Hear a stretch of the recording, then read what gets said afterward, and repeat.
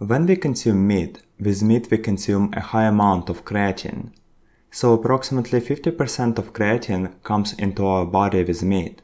Another 50% of creatine is produced by the liver and kidney tissues. Liver and kidneys combine glycine, L-arginine and acetylmethionine and as a result we form creatine.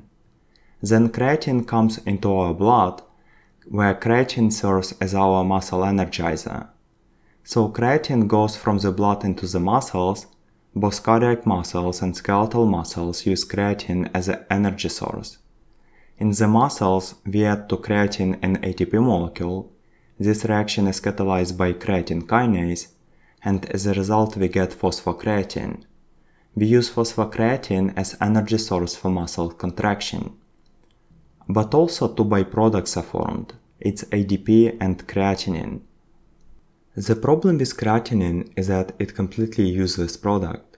We cannot use creatinine for any useful purpose, so our muscles do not need creatinine and because of this, muscle tissue secretes creatinine into the blood, where creatinine circulates.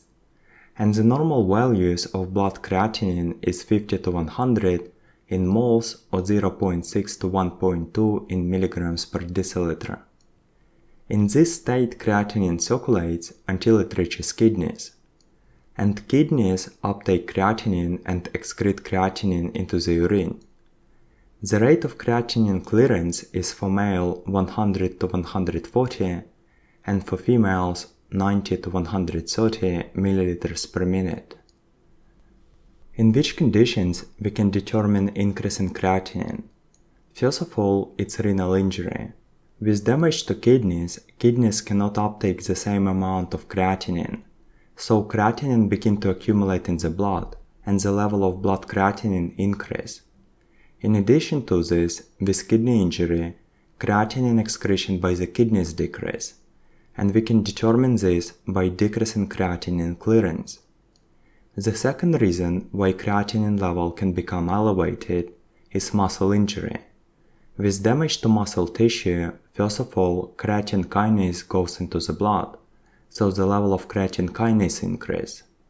In addition to this, massive amount of creatinine at once enters into the bloodstream, and as a result blood creatinine level becomes elevated. The reason why men have higher concentration of creatinine in the blood is because typically men have high amount of muscle tissue. The higher the amount of muscle cells, the higher the creatinine metabolism. The higher the creatinine secretion into the blood, and thereby the higher the creatinine concentration in the bloodstream. Also protein-rich diet can cause increase in amount of blood creatinine.